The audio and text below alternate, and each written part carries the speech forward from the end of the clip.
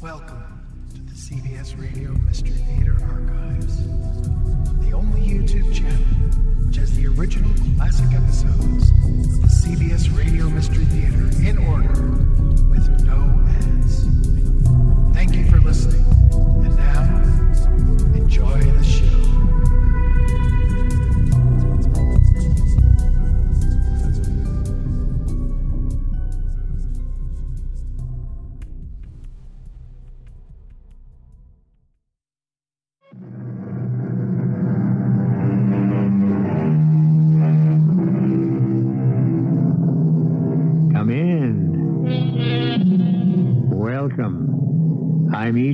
Marshall. The Wild West, which has become one of America's most endurable legends, lasted for less than 50 years. From somewhere in the early 1820s through perhaps 1870.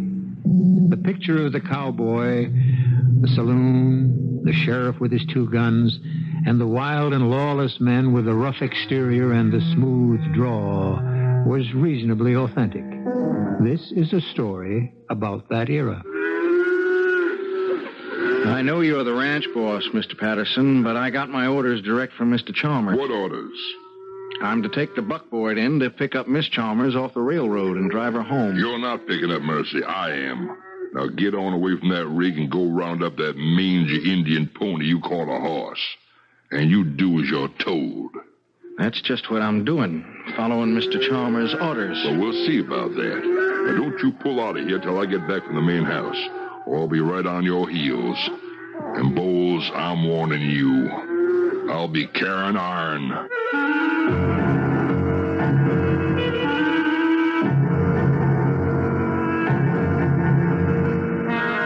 Our mystery drama, The Blue Roan Stallion, was written especially for the Mystery Theater by Ian Martin and stars Tony Roberts. It is sponsored in part by Buick Motor Division and Sine-Off, the sinus medicines. I'll be back shortly with Act One.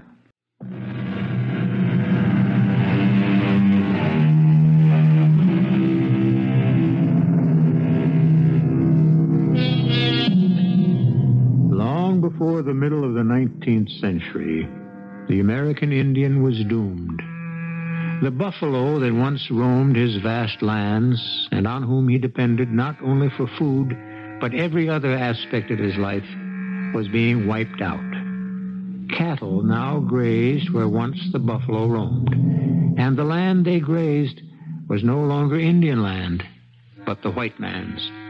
Cowboys and Indians were natural opponents from their roots. This is the story of one young man who was a part of both and of a phantom symbol that tied them both to the past. What is it, little buffalo? Something strange, Mother. Beautiful.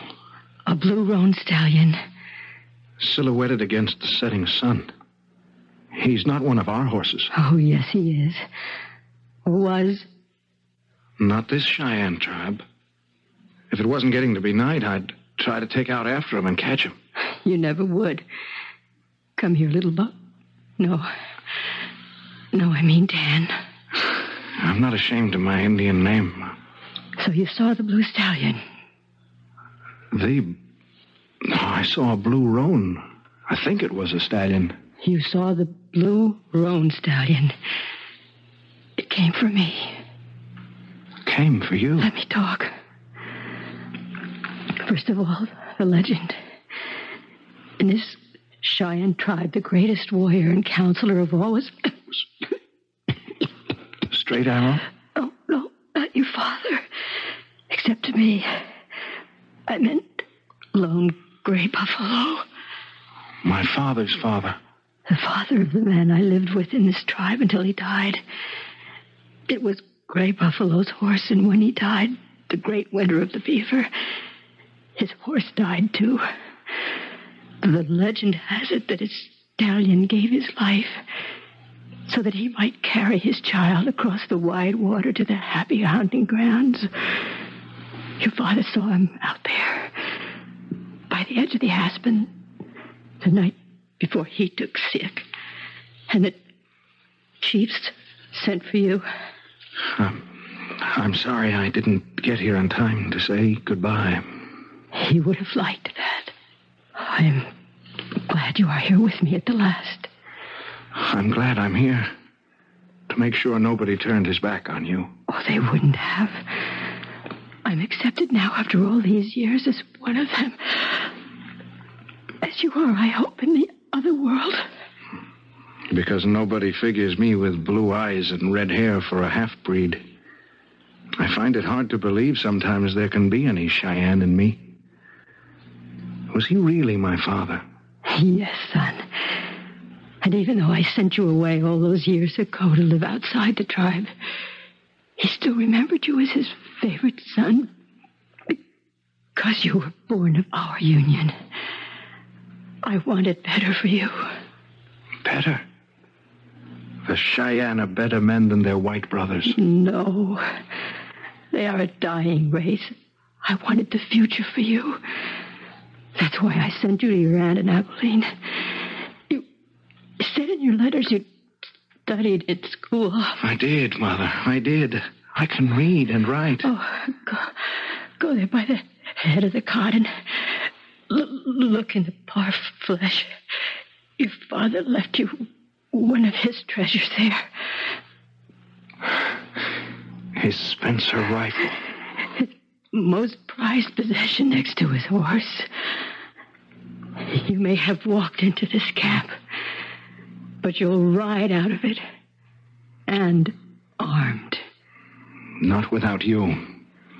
That's what I came back for. I shall ride another horse. Listen. He is calling me. Who? The blue roan stallion. And seated on his back. To lift me in the arms and sweep me away as he did over 20 years ago.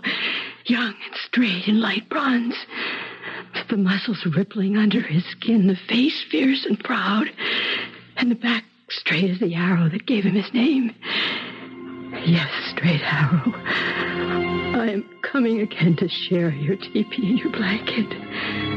My love, freely given, never taken, always given, and never dying. Only waiting to begin again across the great water.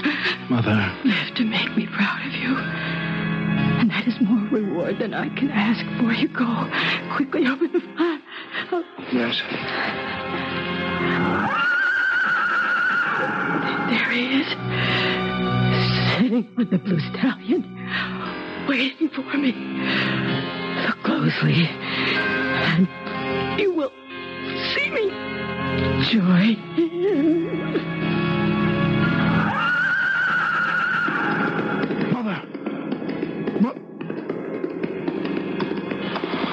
Oh, no. Dead. Last link anywhere. Now I'm alone. And there is no home.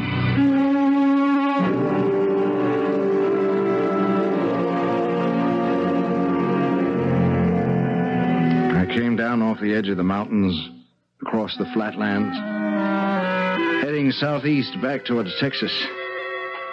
I had a good horse between my legs and a rifle I could drop a prairie dog with at a hundred yards. It was summer, and before me I could see a far mile. I'd have never have seen him if it hadn't have been for the vultures. A big, heavy man, well dressed, lying on his back, fighting to keep his eyes open. Colt 44 cocked and ready in his lap but one of them came too near. You want to put up your gun? Uh, I'll give you some water. gun is guns for the buzzards, not you. A drink. I take it kindly. Here, here. Oh, Lord, hold on, hold on. Come at it easy. You'll tie up your belly in knots.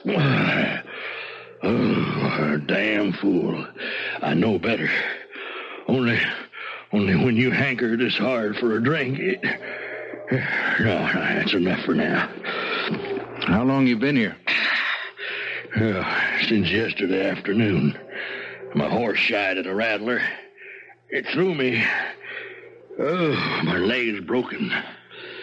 Oh, my ranch isn't too far from here. And horse, we could make it by nightfall. You're not in any shape to ride. Let's have a look at that leg. It, it's just below the... Oh, knee. Yep. Shin bone. Tibia. Oh, hey, what are you? A doc? Hmm. No, just the son of a school teacher. Here. Oh, what is it, huh? It's a piece of rawhide fringe off my jacket. Fold it up so you can bite on it. What for? I'm going to set that leg of yours, and it's going to hurt. I'll have to use my rifle stock for a splint. Oh, hmm. Had to cut your pants leg oh. away anyway, so we might as well use it to tie that splint secure. oh, you get that bone in place so I can walk again. I don't care. You stripped me naked as I was born. We don't have to go that far. You're not doing any walking. You ride, I'll walk. Oh, you ride Indian style? No saddle? Hmm. It was a long winter for cowhands. Hmm. Well, you get me back to my ranch, son, and you don't have to worry about winters as long as you want to ride, fence, herd, or cattle drive for the Crown M. My name is Hale Chalmers. Yeah, pleased to meet you, Mr. Chalmers. Dan's what they call me. Dan Bowles will do. Oh, wow, what would do better? Nothing. That's my name. Okay, Dan Bowles. Let's get tracking. We got a right for a piece to go before we make it to home.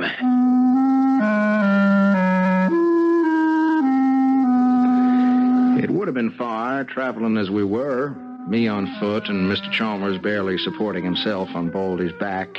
If long before we ever got in sight of the ranch, we didn't run into all the hands led by the foreman, Mike Patterson, sweeping the range as far north and south as I could see, looking for Mr. Hale. Behind them was a buckboard with Doc Nate Reynolds driving, and soon as he checked out Mr. Chalmers' leg, we all took out for the ranch, reaching there before dark. Before he passed out finally, Mr. Chalmers had told Black Mike, as I later found everyone called him, to sign me on. Put your horse in the corral. I'll take you up to the horse house, Bowles. I thank you kindly. You travel kind of light. Injun pony.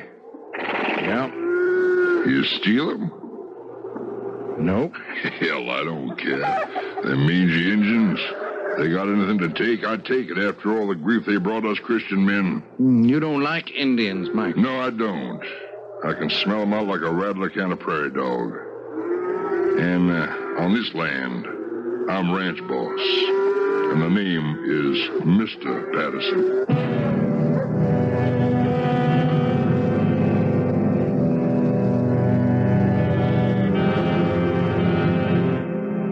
So in one day, I'd made a friend and an enemy.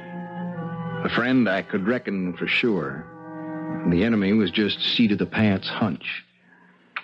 I wasn't that bad in need of a job. I had to work under a ranch boss like him. And I might have considered real hard about signing on if it wasn't for a thing happened the next day. Come. Uh, Mr. Patterson said you wanted to see me, Mr. Chalmers. I sure do, son. C- come on in. Shut the door. Have some coffee with me. Thank you, sir. I don't reckon I could stop for coffee. Mr. Patterson wants me out riding fence. He does, doesn't he? He signed you on like I told him? Well, sir, I, I ain't rightly signed on yet. I reckon he wanted me to prove out, and I ain't made up my own mind the whole way. well, forget Black Mike. He's he's mean, ugly, cuss a lot of ways, but the best ranch boss a man could ask for. Hmm. Go on, sit down. Pour yourself some coffee. How's the leg this morning? Yeah, it hurts. Means it's mending good, thanks to you. Uh, got your rifle stock right here. Needs some cleaning. No, I'd, uh, I'd rather tend to that myself. Yeah, I figured you would. Figured you would. Eh. Eh, And I want to ask another favor of you. Well, sure, Mr. Chalmers. I guess. Now, to come right down to it. I, uh, I hope you'll consider signing on here. Because I need a man like you. I'll think on it. All right, now, second, now, you know where Miller's Junction is from here? Unless it's moved in the last month or two, I do. well, my daughter's due in there tomorrow morning on the Union Pacific Railroad. Now, I can't pick her up myself, laid up like this. Now, would you take the buckboard in and pick her up for me? Now, you go to the bank and see Mr. Slade. Now, I'll give you a dispatch pouch. Now, he'll give you an envelope with money we need here for operating expenses and uh, see you're roomed and boarded at the hotel. You're putting an awful lot of faith in me, Mr. Chalmers. I owe you my life. Why wouldn't I? Supposing I was to take the money and keep right on going. you won't.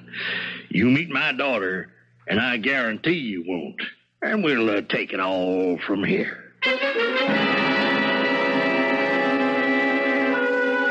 Didn't know right then that I was going to meet my whole future, and that whether it ended in life or death was a toss of the coin, and not very far away.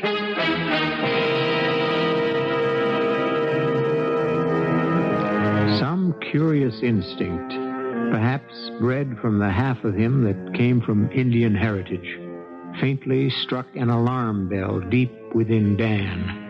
Shutting his eyes against the sun as he came out of the ranch house, he could almost glimpse far off the vision of the blue roan stallion, and hear against his heart the drumming of its hooves. I shall return shortly with Act Two.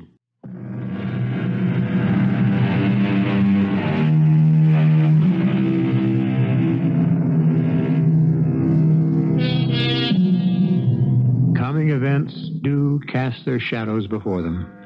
The trouble, of course, is that only in hindsight is that warning shadow perceived or realized, usually too late to change the march of fate.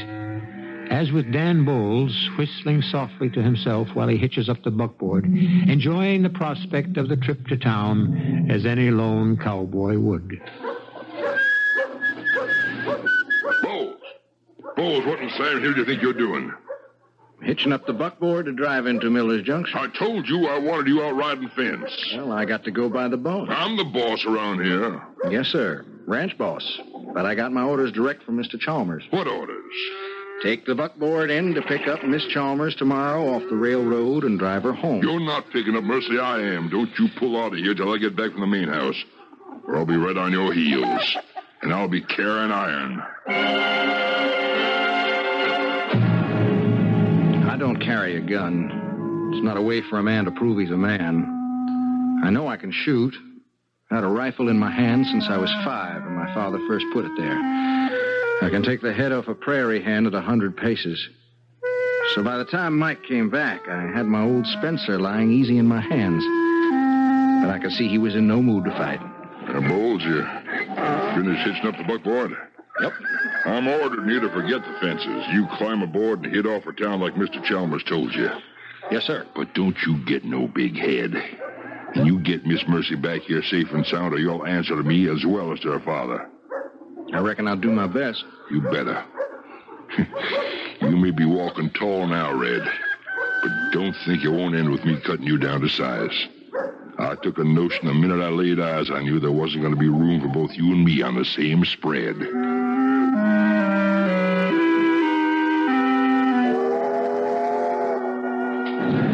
When the train pulled in next day, it wasn't hard to spot Miss Chalmers.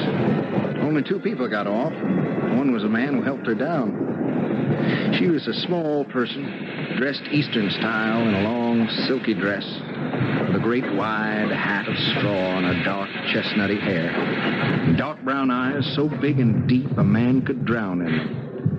and I did. I was in love with her from that very first moment. Miss Chalmers? Yes?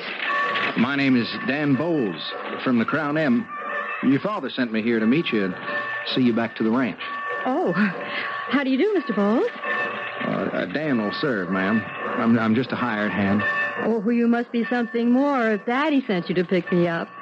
And even if you weren't, we'll stick to Mr. Bowles. He- He's all right. Dad, Daddy's all right, isn't he? Just laid up for a short spell. Why?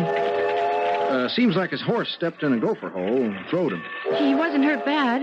Uh, broke his leg is all. Only a shin break. You got some luggage I ought to be picking up. Uh, yes, I do. Well, then I'll get you settled in the wagon and go fetch it. I reckon I'll just trail your dust for a while. You are headed for quite a roundup.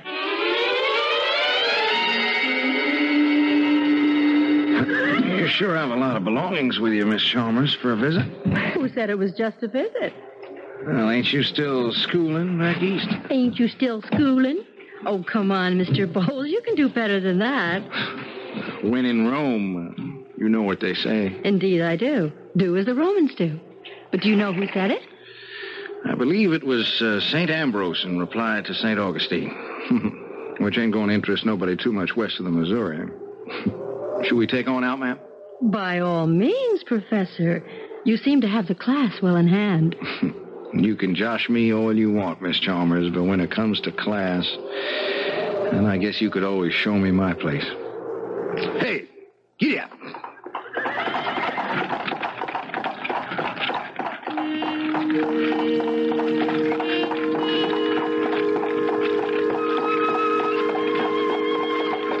So you took the stock off of your rifle and made a splint for my daddy's leg.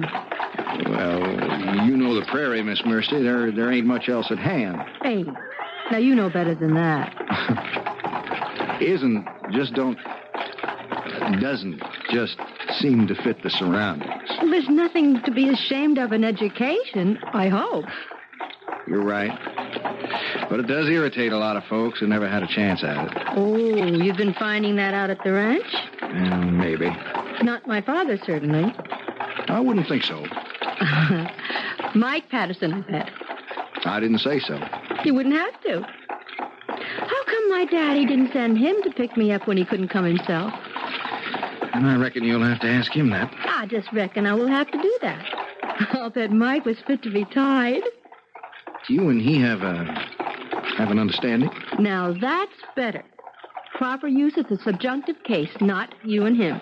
I said my mother was a school teacher. Did she bring you up Sort of. I got most of my schooling in St. Louis. to be a cowhand? Oh, that came after I graduated. I went south and did a heap of wrangling, and then I went for cattle drives.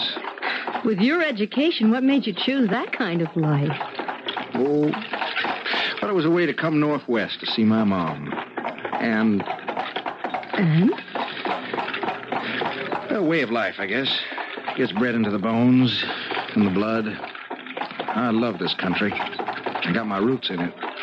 And I'm a cattleman at heart. Hard to explain. Not to me.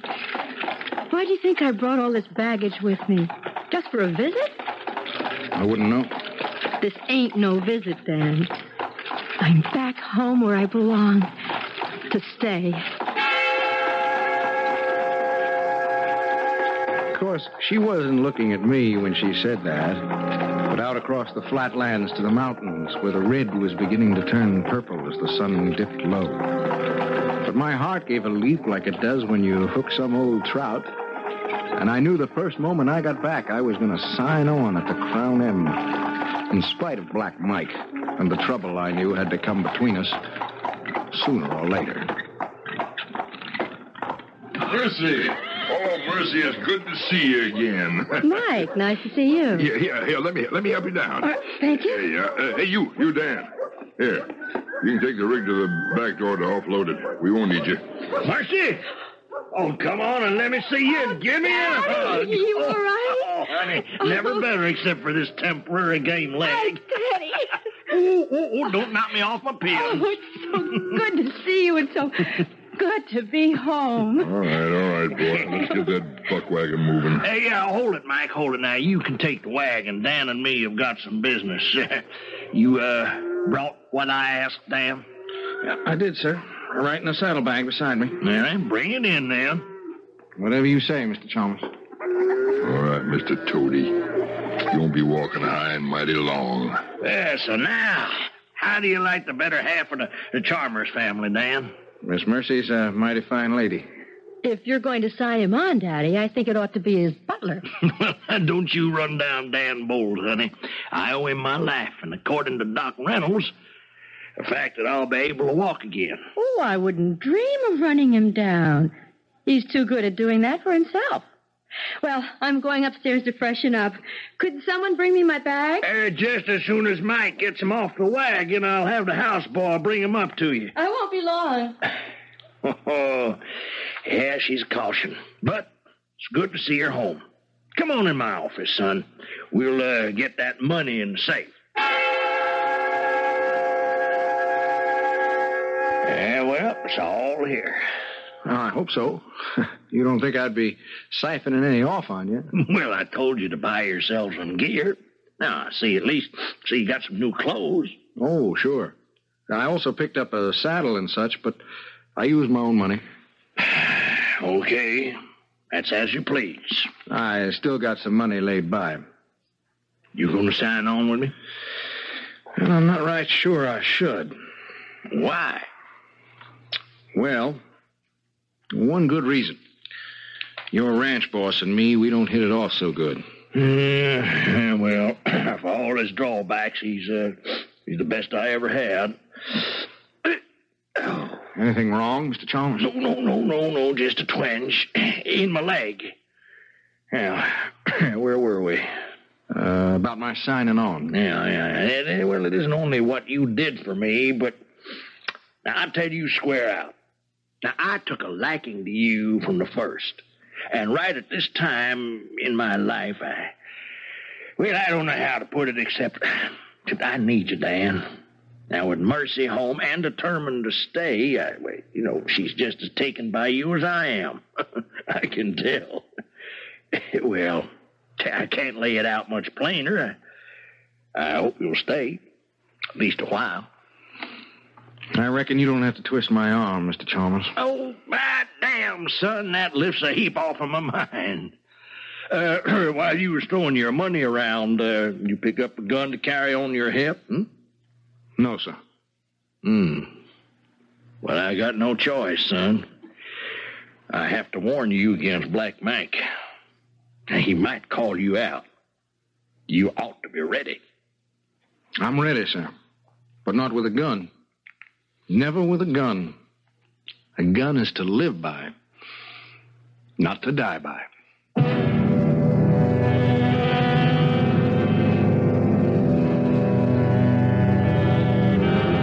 Easy to say, but the west of Dan Bowles' time wasn't ready to be that civilized or to recognize any law beyond the simple solution of a lead slug.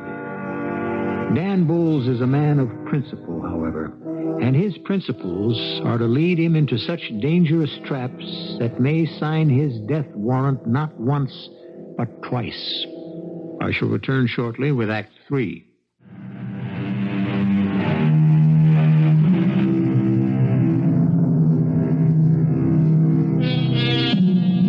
As the hot summer passed on, no threat of the violent events to come showed. Hale Chalmers' leg was healed, so he could ride his horses with his old abandon. Mercy settled back into the rhythm of ranch life. Mike Patterson was fully absorbed in the handling of the stock in preparation for the fall drive to market. And Dan, well, he was the fuse primed for the explosion because Hale used him as a minister without portfolio, a sort of second in command, circulated to every field of the ranch life and management. But a delayed fuse is just as dangerous as any other. Where the devil do you think you're going? Mr. Chalmers' orders. I'm taking Miss Mercy to town. I need you to help cut out cattle for the market. I guess you're just going to have to wait until I get back. I'm telling you something, Bowles. I ain't gonna wait much longer till you and me have a showdown. While you're in town, better get yourself a gun.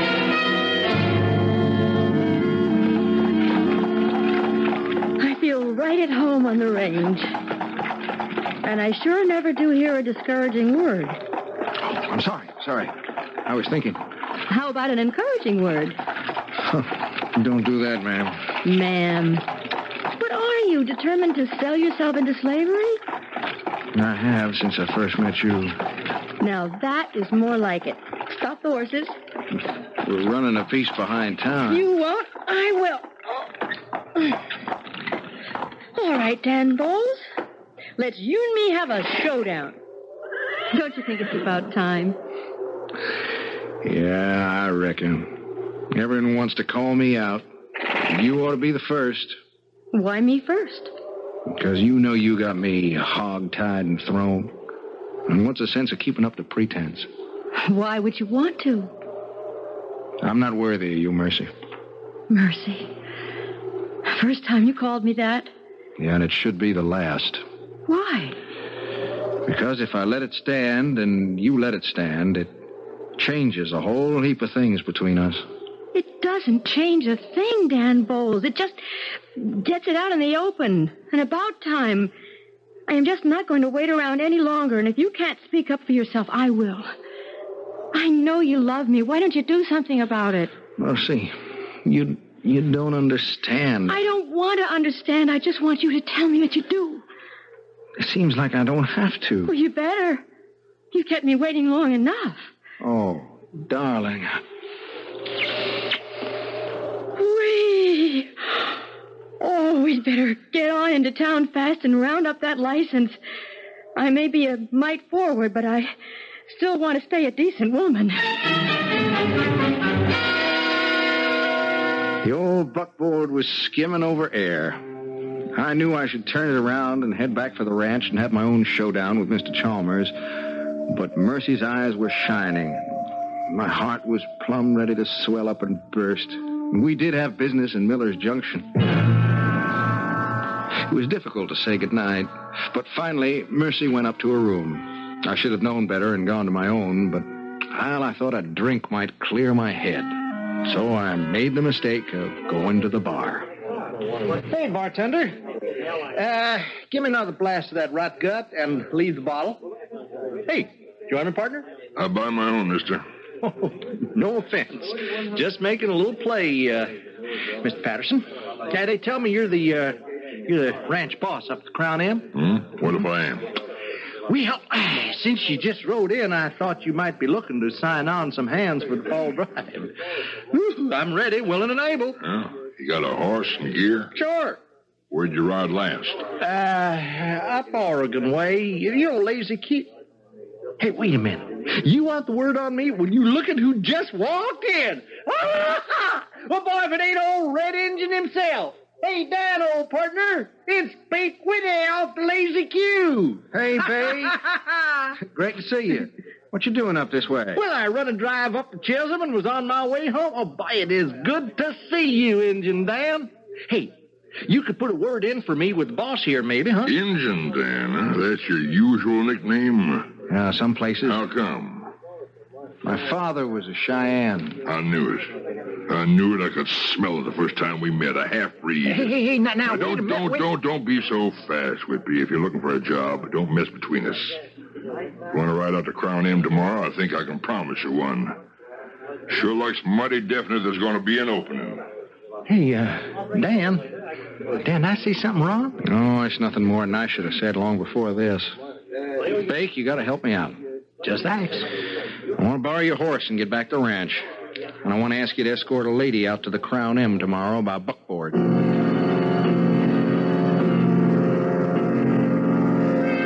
I didn't know just what I had in mind, only that I wanted to talk to Mr. Chalmers before Black Mike did, even if it meant riding through the night to get back to the ranch.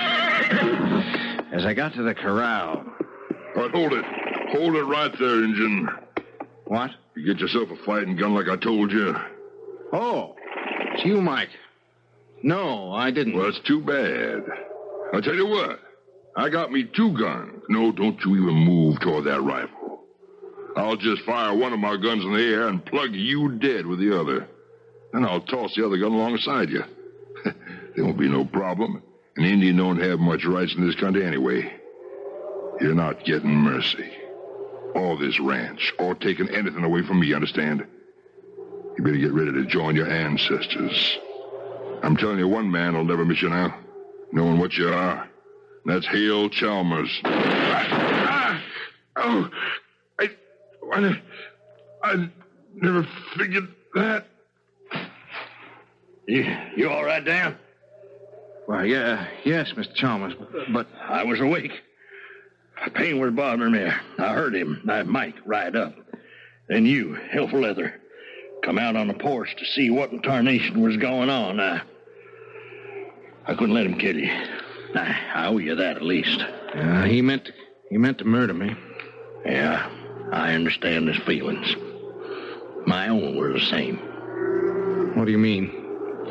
I have a daughter, and I have a ranch, and I had a dream. I haven't long to live. When you found me half dead and set my leg and brought me home, I thought every prayer I ever made had been answered. I knew Mercy wouldn't stay east, that she had her roots back here. The ranch would be hers, but she needed a man to run it with her. And Mike Patterson, for all he wanted to be, was not the answer. It looked to me like you were. And it seemed to look that way to Mercy. Mercy loves me, sir, as I do her. She loves what she thinks you are, what I thought you were. Not some sneaking, dirty, below contempt half breed, You speaking for yourself? or any right thinking American. I dispute your title. One half of me is more American than any wish or dream can make you. But it's an argument don't make no sense. I guess there's only one answer now. Get out while the getting's good. Not for your sake, but for Mercy's. Where's my daughter? I left a friend of mine to escort her home. Don't worry. He's a hundred percent. Not American, but white.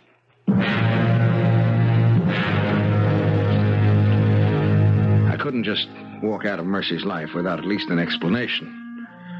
So, riding my own horse and with Bakes on trail, I headed back for town.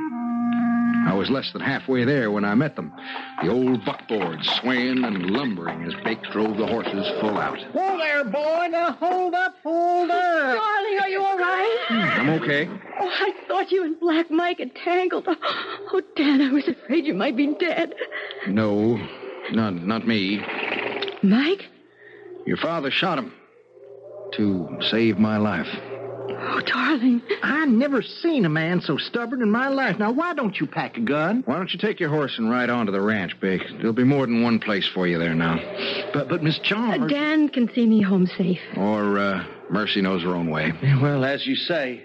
Uh, Dan, if what I said last night had. Forget it, Bake. It had to come out. I should have made it clear long since. Well, I just hope I didn't cause no trouble. Well, I guess you know the truth by now. You mean the awful truth? Well, that depends on the point of view. Well, my point of view is yours. Yeah, but not your father's. He has no right to think as he does. I love him, but he's wrong. Yes, but that doesn't make me any more the right for you. Well, there's one way to solve it all. How? Well, you wouldn't make a dishonest woman of me no matter how hard I've tried. Will you take me back to Miller's Junction and make me an honest one? But your father. Well, once it's all over with, it'll be too late for him to have any objections. Not that he has any right. What do you mean? That will be my wedding present to you, Dan. Or the best part of my dowry. I'll tell you on the way back to town. If Mercy hadn't told me the whole story, I don't know if I ever would have gone through with it. But knowing the truth, I saw no reason not to, and we were married. The only thing I wouldn't do was run. I just had to make my peace with her father some way before we left, or at least let Mercy say goodbye to him. It was coming on to dusk by the time we set off back for the Crown M, and we were just going through a cut in the mountains when suddenly Mr. Chalmers showed up, loaded for bear. He drove his horse straight at us, stopping the wagon with a squeal and a groan, blocking the road as he got off. Get out of that wagon, Injun. Daddy, what are you going to do? You do? stay out of this, Mercy. You get yourself a shooting iron yet, Injun Dan? No, sir. Stay back, Mercy. Let me handle it. Okay. I brought one for you. Here. Well, go on, pick it up and defend yourself. I don't shoot any man without a weapon. Even an Injun who sneak behind my back. Daddy, listen to You me. pick it up. No, sir. If you want to shoot me, I offer you no excuse. The blue stallion. Remember I told you the sign of death in my family. Pick up that gun. Watch out, sir. The stallion. Uh, oh. Are, are you all right, darling? Yes, I'm all right. But my rifle. Why did you fire? He didn't shoot. I fired at the stallion. What, what happened to Daddy? Your father. Did, did I shoot him? Ah, my heart gave out. Been living on borrowed time. Oh, Daddy, ah, Daddy. It's all right, Princess.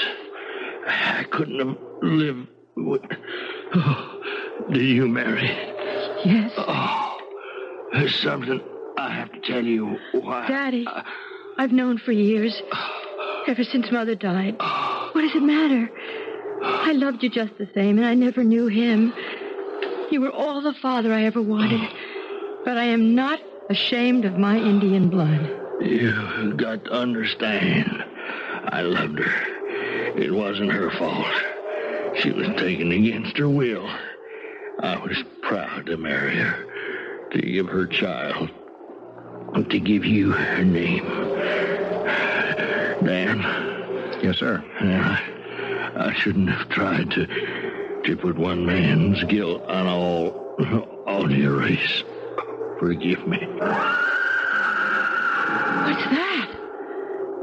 The blue roan stallion. Take care of the ranch. The crown have mercy. Don't worry about me. You'll carry me to rest.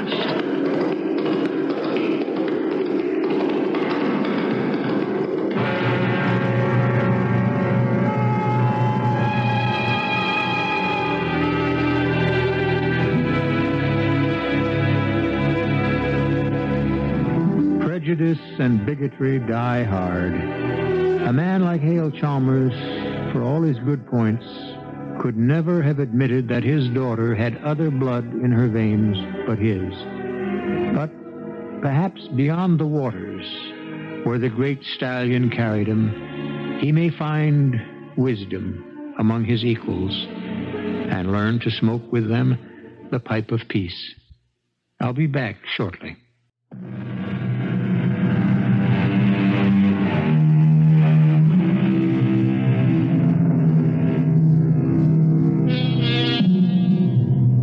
Celebrating a bicentennial.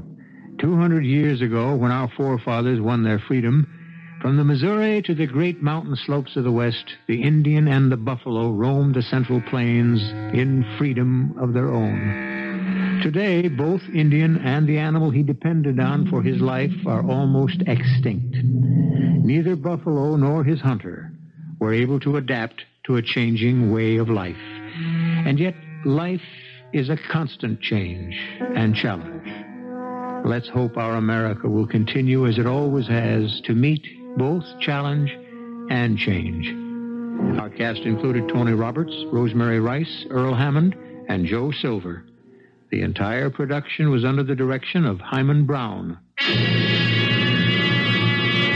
And now, a preview of our next tale. That older dame, she's turning into the apartment house. She reminds me Yes? where have I seen her before? Have you seen her before? That's her. The old woman who was in my diner the night Tom Fessler was killed. The one who threatened him with retribution? She's got different hair, but I'd never forget that face. Well, Inspector, Well, what, Louise? do I pick her up? And suppose she doesn't have the gun. You realize the only thing that can hang her is a 22 caliber, nothing else. Suppose I arrest her right now. Suppose she isn't carrying the gun. No, the only thing we can do is put a tail on her, have her shadowed night and day, and wait until she wants to use that pistol again. But if we delay, it could be too late. And if we move now, it could be too early. Radio Mystery Theater was sponsored in part by True Value Hardware Stores. This is E.G. Marshall inviting you to return to our Mystery Theater for another adventure in the macabre. Until next time, pleasant dreams.